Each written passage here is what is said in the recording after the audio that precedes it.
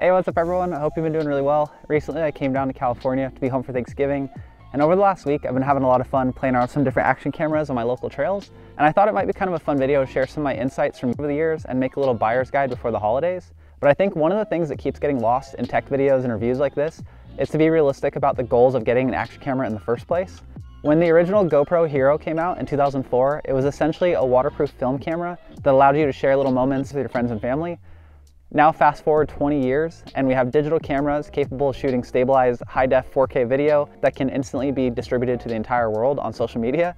In recent years, companies like DJI and Insta360 have really challenged GoPro's hold on the market. However, with so many new cameras coming out each year, it can be really easy to feel like you're kind of getting left behind and maybe get a little bit of tech envy. This is where I think you can get lost in the weeds a little bit when talking about tech. Some of the most iconic mountain bike moments of all time have been filmed on a shaky GoPro 5 or 4. And you rarely ever see a comment in those videos complaining about the quality. It's always important to remember that the moment is what's important and finding a camera that allows you to capture the moment with the fewest headaches is key in my book. A good example of this in action today is a YouTuber named Peter Santenello, who I watch all the time, and he consistently gets millions and millions of views sharing his experiences to the world with a GoPro 8. It goes to show you don't always need the latest and greatest to make good content. With all these various types of users, it's really tough to design the perfect camera, if you stuff all the features possible into something, it can get too bulky, heavy, or expensive for the casual user. And then if you strip something down too much, it can be underwhelming for the professionals. And in this guide, I just want to go over some of the pros and cons of all the different cameras that I know of. So first, let's start with the flagship model, which is focused on quality first and foremost. I think ultimately you can't go wrong with any of these flagship models. They all shoot, at the very least, really nice stabilized 4K footage, which is plenty for shared content.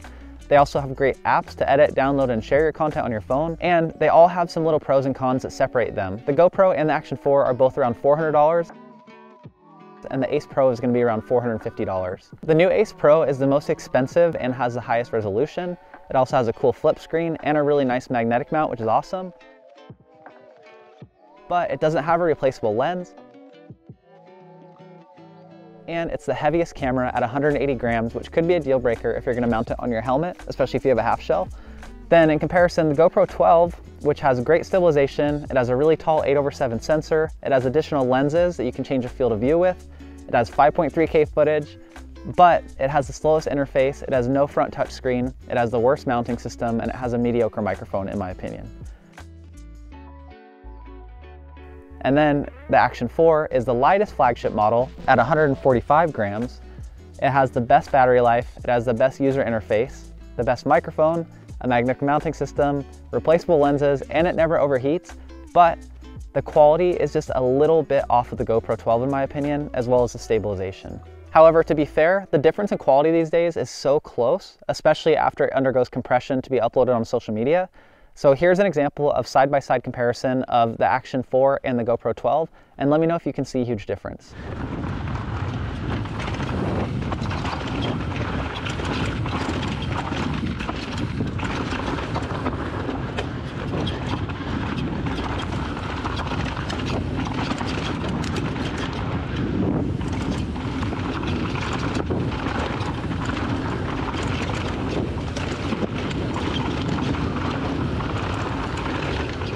So this one's going to be fun because I have my remote here. So this is GPS remote. It's going to overlay GPS data to the camera. I'm excited to use the GPS and see how it goes. So let's see the difference between uh, Action 3 and Action 4 and GoPro, all that good stuff.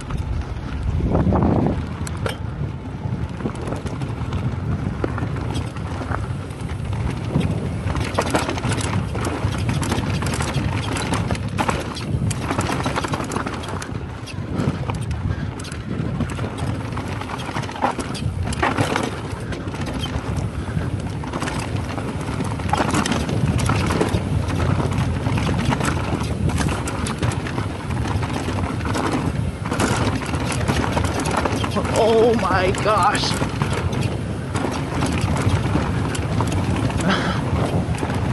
As you can see, what I'm trying to get at here is that there is really no such thing as a perfect camera. I think personally for me, the thing I prioritize over everything is the least headaches possible. So if a camera is gonna be overheating, or if it's gonna be buggy, or if it's gonna have bad battery life, anything like that that can get in the way of actually capturing the moment you wanna capture is a deal breaker for me. So personally, I've been having a lot of fun using the Action 4, However, like I said, all of these would be great, and I think all of them have different pros and cons, and it's just about understanding what are the negatives of each one and seeing if that's a deal breaker for you.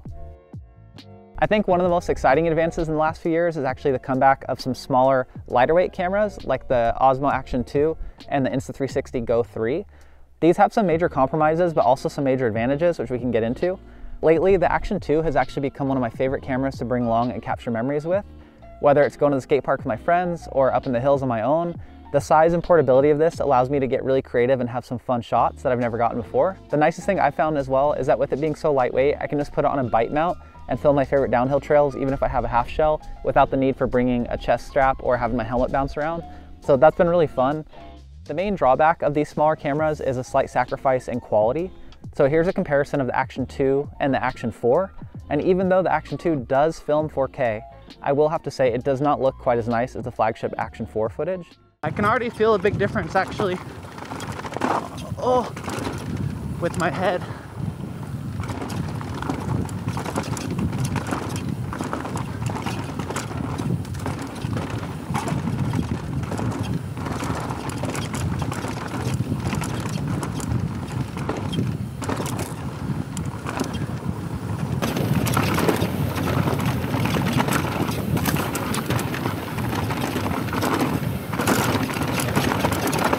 Oh my gosh.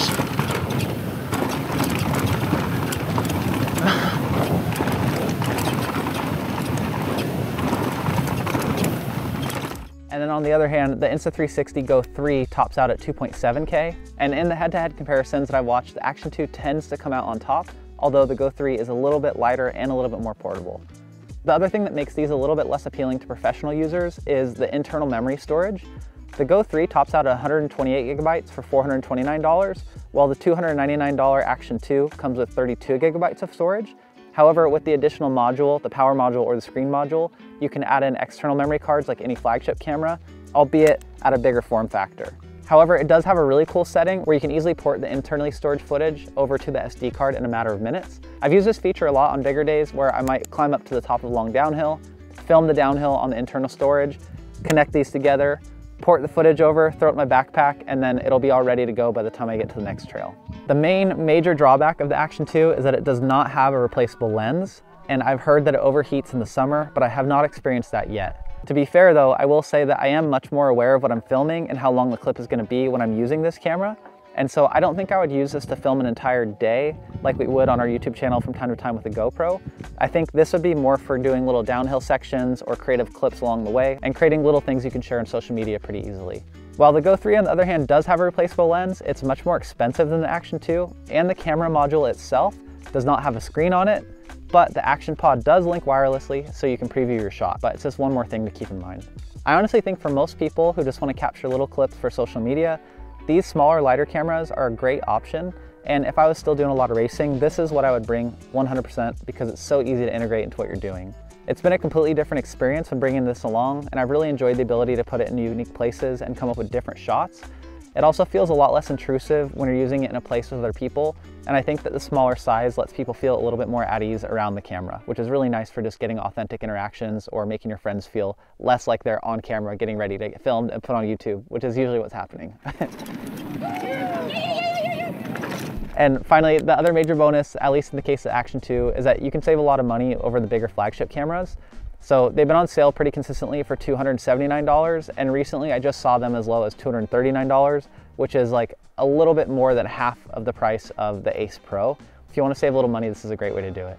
And finally, we get to the other option, which everyone has, which is to find a recent generation camera like the GoPro 10, 11, or even the Action 3, which gives you all the benefits of the flagship models, bigger battery life, better storage, all of that stuff, but with maybe some reduced quality or some limitations with software. However, it's gonna be at a lot cheaper price. You can always find these on sale. And there are still really big YouTubers I know who create great videos that lots of people watch using a GoPro 7 with a gimbal. So you don't always need the latest and greatest to just make good content. With that being said though, I do think that one of the biggest improvements in the last two generations of action cameras has been the audio quality. And so I think if you were to do a head-to-head -head comparison with the Action 3 and the Action 4, you would immediately notice the audio quality, but someone may not immediately notice the image quality difference.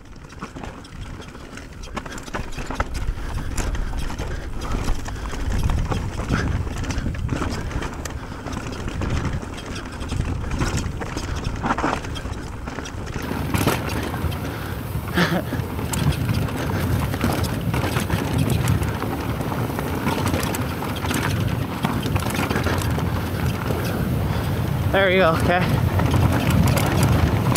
Oh my gosh. So I would say if you are gonna pick up an older camera, at the very least you should be using a wind slayer, which is like a little foam attachment that goes over the camera to help with the audio. Or if you can find something that's USB-C compatible, like the Action 3, so then you can record with a separate microphone like what I'm using right now, I think that will go a long way in creating really great footage and kind of making the headaches of bad audio go away. I can't tell you how many hours I've spent editing, trying to fix bad audio from action cameras, and I've never really had to worry about like, oh man, the video quality needs to get touched up a bit. It's almost always the audio that gives me headaches. So with all that being said, I know this was a lot of information. At the end of the day, the thing to keep in mind is that the story is king and it will always win out over the technology you're using. The latest and greatest tech does make it really helpful in reducing the amount of headaches associated with capturing your adventures, but the camera itself is so much less important than the moment being captured. My personal go-to setup for the last few months has been the Action 4 ever since it came out. Um, I used GoPros for many years and I've just found this to be a lot easier to use from a interface standpoint. The software is better, the front screen is really good. I don't have to worry about bringing a lot of accessories or extra batteries to make it last for a whole day. It just really makes it easy to capture great footage and get the moment that I want to capture captured. I am really curious about trying to Go 3 as well. I haven't gotten to try that, but they look really cool and I've had so much fun using the Action 2 lately. But again, I myself get caught up in the technology race from time to time, and I just need to remember to get outside, make some fun memories, and just go ride. I hope you all have a great holiday season, and we'll talk to you soon. Get out there, make some content, and I can't wait to see it.